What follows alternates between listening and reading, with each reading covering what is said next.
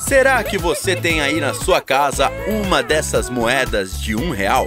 Se a resposta for sim, você se deu bem. Bandeira dos Jogos Olímpicos. Em 2012 foi lançada uma moeda para celebrar a passagem da bandeira olímpica de Londres para o Rio de Janeiro. Com uma tiragem bem pequena, de 2 milhões de unidades, ela virou uma das joias raras do colecionismo. Uma moedinha dessas pode valer até 100 reais.